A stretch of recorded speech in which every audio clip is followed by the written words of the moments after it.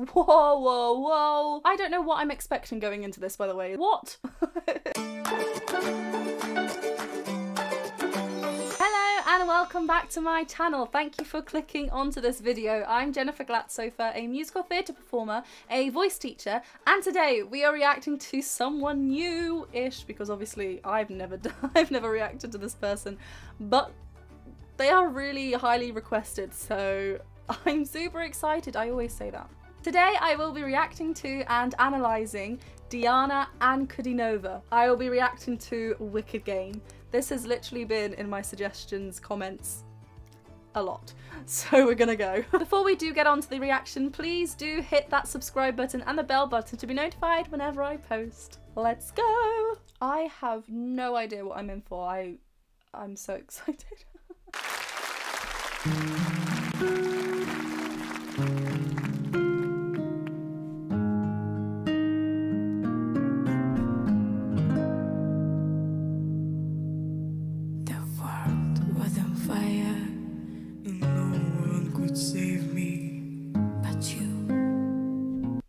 Whoa, whoa, whoa. I don't know what I'm expecting going into this, by the way, as well. So, what? I believe she is around 14, 15. Correct me if I'm wrong or if you know the specific age that she is, was when she was performing this. But that's so low. What, what was that? that is on an F3 and she is so secure down there. It sounds a little bit dopey uh, down there, but like she sounds so secure. And I love that we are starting on a little bit of a breath-like quality. And do you see how that voice then comes in so clearly? what? Let's watch that again. The world was on fire, no one could save me. And then it's connected.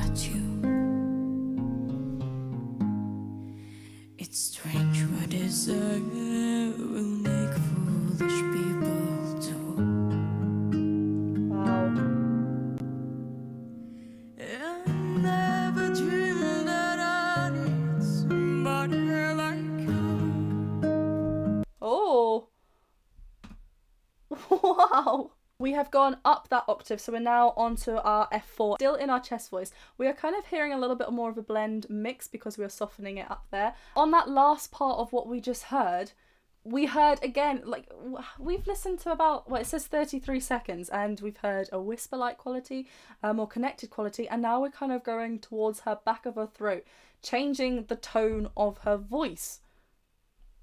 And to be able to do that in like the space of a couple of seconds is crazy. Let's listen to that part again. We can see that she's kind of going into a more mixed voice because of that volume and blending qualities already together. I never dreamed Connected. need somebody like you. And now she's exploring that voice there.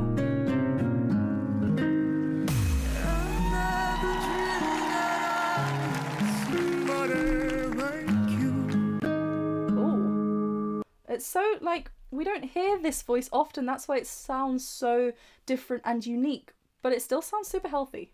In voice singing lessons, we are told to neutralize the larynx. I don't know how much I like using that term because naturally the larynx will move, but here what we are seeing Diana do is manipulating that larynx, so changing that space of that larynx, allowing it to drop down to get into that. It's the choice that she's gone for. I mentioned this before, but if we're going with something, we want to be 100% in that choice and live in that choice. Therefore, we love it and love to see someone exploring their voice. It's so cool.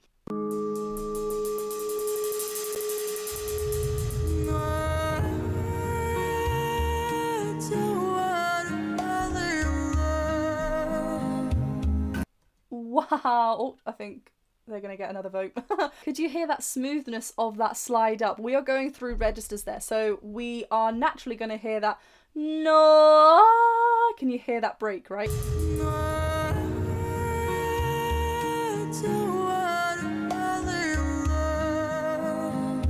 We're going lovely into that breath like quality at the top. Still quite connected, actually. Really lovely in that head voice. Then coming back into this chest voice, into back to that same position with that dropped larynx and open uh, back of our throat. But cool. Boss.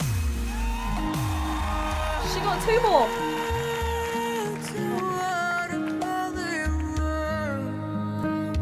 Wow, so relaxed as well. What we get game to play to make me feel this way. Like, how is she doing this? no, it's not necessary. Like we said earlier, where are we? We're on a we're on an F sharp three down here. But because of the way we're manipulating the larynx and changing that timbre, um, and she's staying down there, and it sounds so uh, sustainable. It doesn't sound like she's hurting herself at all.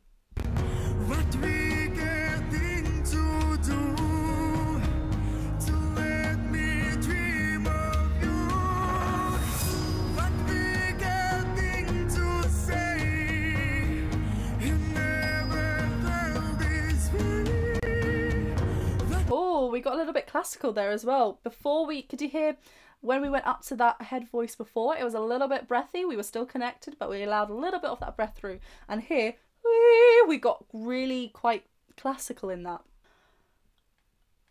I.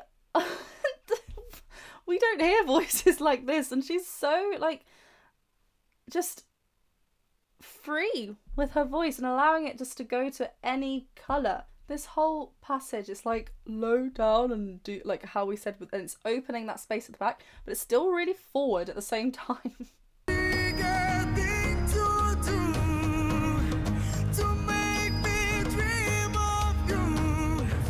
And now we're kind of leaving that place a little bit, adding a little bit more of that twang like quality just to get that bright sound.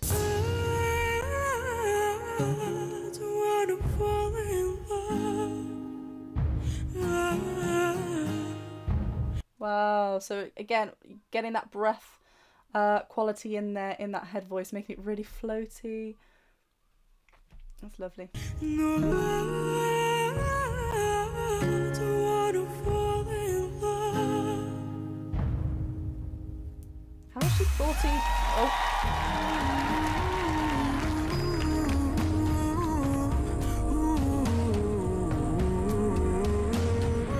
she's literally using her voice as an instrument, right? And playing out all those lovely notes and just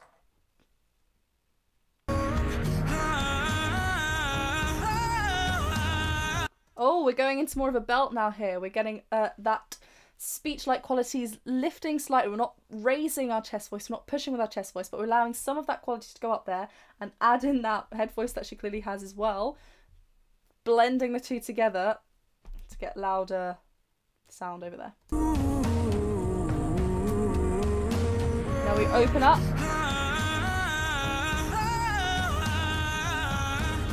She's also using some cry quality in there. Let's just listen to that one more time.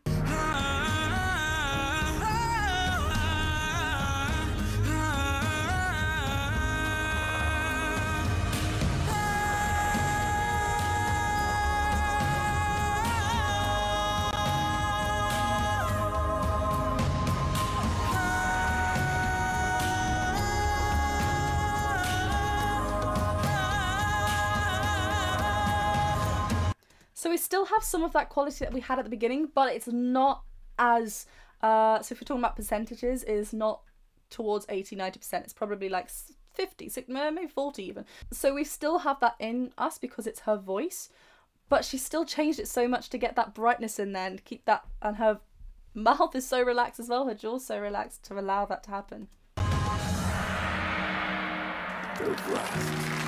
Fight, and no one could save me but you. And at that last moment we returned, we added some vocal fry in there to get that uh, to get that back into it. Adding that whisper right at the end, so it's kind of like a full circle. How many vocal techniques did we just see?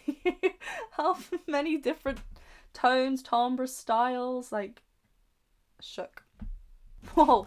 So, hands up if you've never heard a voice like that before.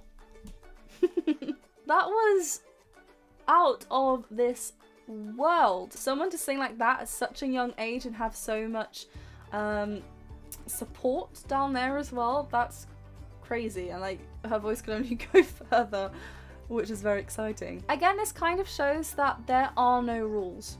Right? If our voice wants to do that and it doesn't hurt and it sounds healthy, obviously always consult with a voice teacher if that's something that you um, have in your life, then go for it. Explore your voice, be free. Thank you for watching this video. I hope you enjoyed it. Please give it a massive thumbs up if you did and do hit that subscribe button and the bell button to be notified every time I post. And I shall see you shortly for another video. Bye!